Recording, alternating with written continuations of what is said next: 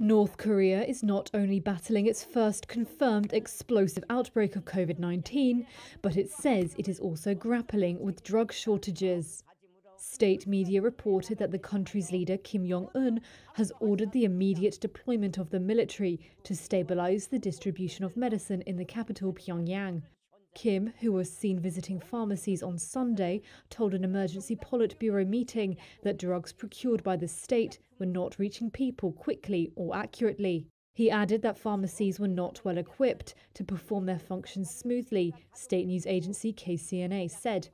KCNA added that Kim had criticized the irresponsible work attitude, organization, and execution by the cabinet and the public health sector. President of neighboring South Korea Yoon Suk Yeol has said he is willing to help. If North Korea responds, we will spare no medicines, including COVID 19 vaccines, medical equipment, and health personnel.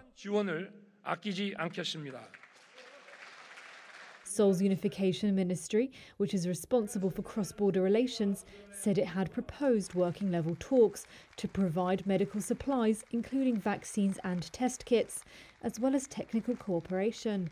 But it added that the North had not received its message.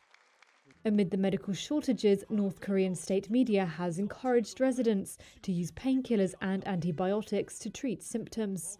It has also encouraged home remedies, including gargling salt water and drinking herbal teas. Previously, state media has suggested using burdock root as a cure while downplaying the effectiveness of vaccines. Pyongyang residents had their own ideas of how to tackle the virus. I had my faith that this could be cured if we have accurate treatments. I also think we can definitely overcome it by ventilating the house regularly and cleaning it while having a proper workout. For kids, they tend to move a lot even if they have a fever, so they just run around and play for 30 minutes if I turn on children's dancing songs. North Korea previously claimed no confirmed cases of COVID 19. It is only one of two countries in the world that is yet to begin a COVID vaccination campaign, according to the World Health Organization.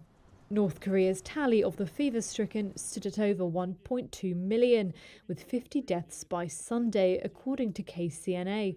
It did not say how many suspected infections had tested positive for COVID 19. The North has blamed a large number of the deaths on people who were careless in taking drugs due to a lack of knowledge about the Omicron variant and its correct treatment.